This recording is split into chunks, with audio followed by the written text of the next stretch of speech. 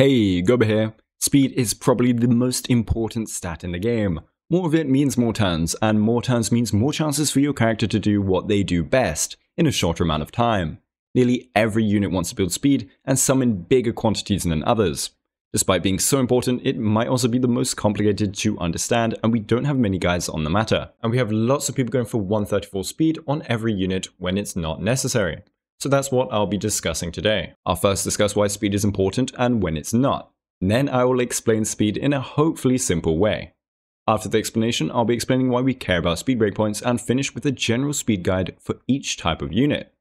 You're going to have to trust me and follow through the video, even if big spreadsheets and numbers scare you, they are just help and it's actually a quite simple explanation. Also, if you like this guide and want more, I do in-depth guides on mechanics in the game as well as every unit so like and consider subscribing to catch the next one. Anyway, let's begin. First of all, we have to ask why is speed important? Well, speed is crucial for pretty much every unit in the game. It can boost the effectiveness of a unit's core role, that's the case with Ting who wants to generate skill points and cycle her ultimate for her DPS's turn. It can also make your actions happen faster, good for nearly any unit. For example, a DPS can do 100% of their normal damage every action, but doing 90% of their damage every action is even better, provided you're taking more actions. It will also let you take turns before enemies, which is nice for setting up defensive buffs like Fu Xuan's Matrix of Prescience. It can let you tune buffs so that you will buff your DPS before they take their turn, like with Yukong's skill. It can also let you reach speed-based buff conditions, like the Fleet of the Ageless Planar Ornament set. And finally, it can let you finish cycle-based content faster, such is the case with Memory of Chaos. Being faster at specific breakpoints will let you take more actions in a certain amount of cycles, and since you need to clear Memory of Chaos in a certain amount of cycles for the most amount of rewards, speed breakpoints exist to make that easier for you. You have to remember that the idea of units being faster to generate skill points is only relevant when the unit is very fast. If the unit is only a bit faster than the rest of the team, skill points will just be used as normal.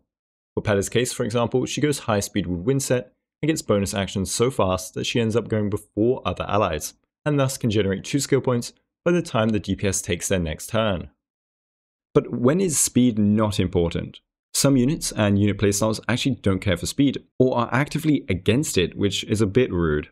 Some examples are Clara, Slowblade, and Slow Lune. They want to stick to low speed and let their team enable them, or in Clara's case, let the enemies take as many hits on her as possible when she has buffs on her.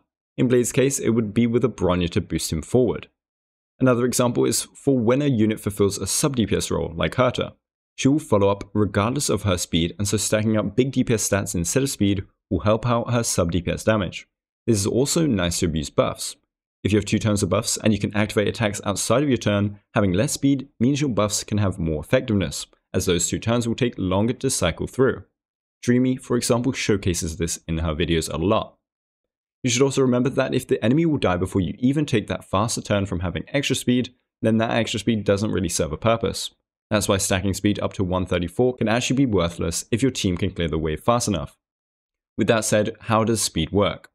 Every unit has a base speed, ranging currently from 90 with Clara to 115 with Seele. This speed can be buffed by percentage speed, which is any speed buff that has a percentage symbol in it.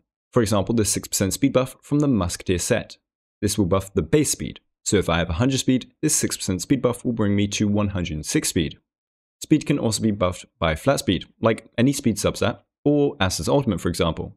It will be added after any percentage buffs, so that 6% speed buff from earlier won't affect my 25 speed from speed boots. Now that you have your speed, you must learn what it means for your turns, and it isn't complicated, you just have to bear with me. We will actually use a chocolate bar analogy to simplify things. My friend Anemone came up with it, but I'll even make it a little bit easier. So every unit has to get through 10,000 action gauge to take a turn. Each unit will use their speed at the same time to consume this gauge until it hits zero gauge. So imagine you have a chocolate bar of 10,000 segments. You have to eat this whole bar if you want to take your turn. Your speed determines how many segments of chocolate you can eat in one bite, and everyone must take a bite at the same time. If I have 200 speed, I will eat through the bar twice as fast as someone with 100 speed. So an easy way of finding out how quickly you can get through this 10,000 action gauge chocolate bar is by finding your action value, which is easily found by dividing 10,000, which is our action gauge, by our speed. This basically finds how many times our speed is needed to consume the action gauge and take a turn, or how many bites total we need to finish the bar. At 100 speed, our action value is 100, which means we need 100 instances of our speed to take a turn or 100 bites to finish our bar. This is obvious since 100 times 100 is 10,000 funny enough. This action value is what we see on the top left of our screens in combat, provided you have enabled the setting in game. Except it shifts. It will reduce in number until it hits zero, remember? That's when we finish our bar and take our turn. So anyone in front of us will keep consuming the action gauge, but so will we at the same time. If someone has 85 action value and another has 86, by the time the first unit takes its turn, our second will be at 1 AV and ready to take the next turn. Pretty easy, right? So when we buff a unit's speed, we buff how much they can eat in one bite until the speed buff is finished. Asta's Ultimate makes everyone's mouths a bit bigger, which is something I didn't think I'd say for a guide video. In the case of slow debuffs, our mouths are made smaller, and we take more bites to finish our bar and take a turn. Now on to Advance Forward and Action Delay. Advancement Forward buffs will make your character suddenly shoot up in the action order. What it actually does though is reduce your action gauge needed for that one turn that you got pushed forward in. In chocolate terms, an advancement forward means your chocolate bar is smaller for that one turn, so you have to take less bites to take your turn. A 100% advance forward means your bar was taken away from some mean person, but at least you'll take the turn immediately. A 20% advance forward, like in the light cone multiplications case, means you only have 8,000 segments you need to eat for that turn, meaning you now eat 1.25 times as quickly. This is why advance forward can also be translated into speed. If you have less action gauge than someone else, but you're slower, you can still end up taking the turn before them. Action delay, however, is adding chocolate segments to that bar, or increasing the amount of gauge you need to consume to take a turn. A 50% action delay will add 50% of your original gauge onto your current gauge. Basically, no matter where you are in your chocolate eating competition, 5,000 segments will be added on top, which is a bit unfortunate if you've not got a sweet tooth. An example of action delay is a toughness break. When you break an enemy's toughness, they get a 25% action delay, or more if you did a quantum or imaginary break. This will add 2500 action gauge onto their current amount. If they are super fast, it won't be too much of a problem to eat 2500 more segments, but if they're slow, it will take a long time to get back. This is why Welt, for example, his slow and imprisonment on top is so deadly for enemies' turns. Finally, even though these advances and delays are shown as percentage values, they have a fixed effect, and having multiple on top of each other just adds flat values, no multiplying or dividing. A 20% action advance from Seele, combined with a 25% action delay, for example, will result in a combined 5% action delay altogether. So with the speed explanation over, why do we care about speed breakpoints? Well, it's only for Memory of Chaos or planar ornament sets, except those sets are either 120 speed or 145. Memory of Chaos is designed to give more rewards the faster you clear it, and it's based on cycles. You start with 30 cycles, and you have to beat both sides with 16 cycles left for maximum rewards, at least for 1.4, Memory of Chaos 10. It may get increased in the future, so you'll have less cycles to get 3 stars. If you finish before the first cycle ends, no cycles are deducted, and that's how you complete a zero cycle, for example. If you finish after the first cycle, but before the second, you'll have done one cycle and have 29 left for the second half. So in 1.4, our cycle limit is 7 per half, 6 full cycles after the first, and that's why we calculate according to 7 cycles worth of length. Cycles are segments of action value, 150 for the first cycle and then 100 for the following ones.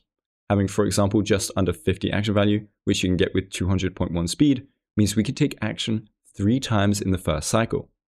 At 93.4 speed, you'll get an action every cycle, and that's where speed breakpoints come into play.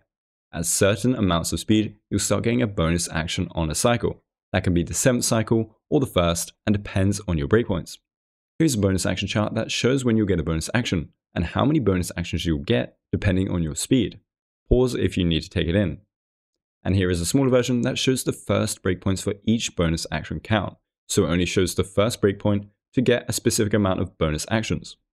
The reason why 134 is spoken of so much is because it gives you a bonus action in the very first cycle, on top of it giving more bonus actions later down the line. It frontloads your damage quite a lot on the first cycle and lets zero cycle clears happen much easier. You shouldn't ruin your whole stat line to get 134 speed, and it's only really for zero cycling. Remember, zero cycling is not needed to complete Memory of Chaos. It also won't matter if you take two turns in the first cycle if you have no damage, and it won't matter if your buff timings are ruined, if you have no skill points, etc.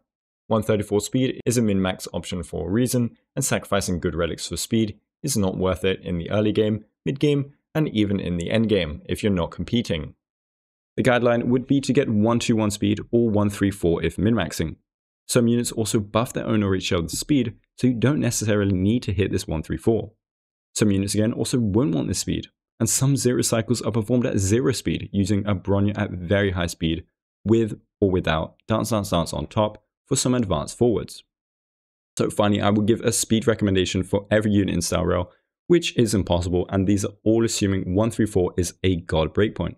I don't believe myself that it is, but since it's the most powerful and accessible breakpoint we have, I will use it for these guidelines.